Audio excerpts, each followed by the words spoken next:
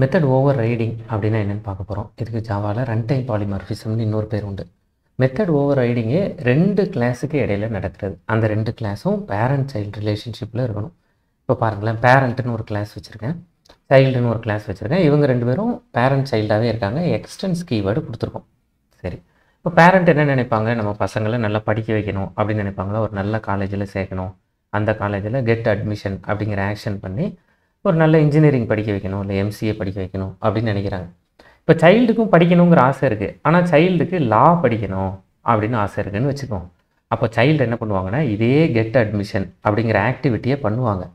ஆனால் அந்த மெத்தட் அப்பா அம்மாவோட ஆக்ஷன் தான். ஆனால் அதுக்கு அவங்களோட ஓன் டெஃபினேஷன் எழுதுவாங்க. இல்லை நான் இன்ஜினியரிங் படிக்கலை. அதுக்கு பதிலாக நான் லா படிக்கிறேன். அப்படின்னு அவங்களோட ஓன் டெஃபினேஷன் எழுதுவாங்க. அதுதான் மெத்தட் ஓவர் ரைடிங் அதாவது same method name with same number இல்லை same type of arguments in two different classes அதுக்கு அந்த ரெண்டு கிளாஸஸும் பேரண்ட் சைல்டாக இருக்கணும். இப்போ பண்ணி பார்ப்போமா? நான் பாலி பாலிமார்ஃபிசமோட ஒரு டைப்புங்கிறதுனால பாலி லேர்னிங்னு ஒரு பேக்கேஜ் வச்சுருக்கேன். அதில் பேரண்ட்டுன்னு ஒரு கிளாஸ் க்ரியேட் பண்ணுவோமா?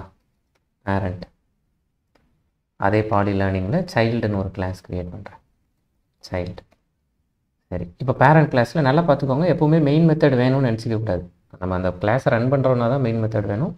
அப்படி இல்லைன்னா வாய்ட் கெட் அட்மிஷன் அப்படின்னு அங்கே ஒரு மெத்தட் எழுதிக்கிறேன். சிஸ்டம் டாட் அவுட் டாட் பிரிண்டலன் இதில் இன்ஜினியரிங் அப்படின்னு எழுதியாச்சு. யாரோட மெத்தட் பேரண்ட்டோட மெத்தட் இப்போ சைல்டு இதை ஆக்சஸ் பண்ண போகுது. அப்போ சைல்டு எக்ஸ்டென்ஸ் பேரண்ட் சைல்டு கிளாஸை தான் நம்ம ரன் பண்ண போகிறோம் மெயின்னு கொடுத்துட்டு கண்ட்ரோல் ஸ்பேஸ் கொடுத்து என்டர் கொடுத்தா போதும்.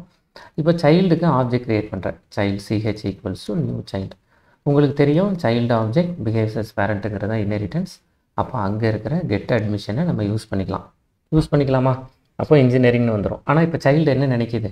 இல்லை எனக்கு அந்த கெட் அட்மிஷன் வேண்டாம். அந்த மெத்தட் வேணும். ஆனால் நான் என்னோடய ஓன் டெஃபினிஷன் வச்சுக்குவேன். அதே மெத்தடை காப்பி பண்ணி இங்கே எழுதியாச்சு. இன்ஜினியரிங் இல்லை இப்போ நம்ம படிக்க போகிறது லா அப்போ சைல்டு ஆப்ஜெக்ட் வச்சு ஆக்சஸ் பண்ணும்போது பாருங்களேன்.